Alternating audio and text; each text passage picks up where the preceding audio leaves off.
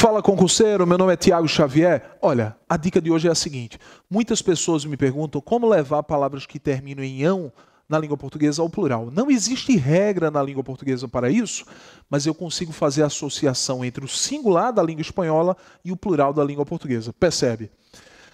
Se em espanhol a palavra terminar em ano, como cidadano e hermano, na língua portuguesa, cidadãos e irmãos. Se em espanhol terminar em an, como pan e alemã, na língua portuguesa, pães e alemães. Se na língua espanhola terminar em on, como limão e coração, na língua portuguesa, limões e corações.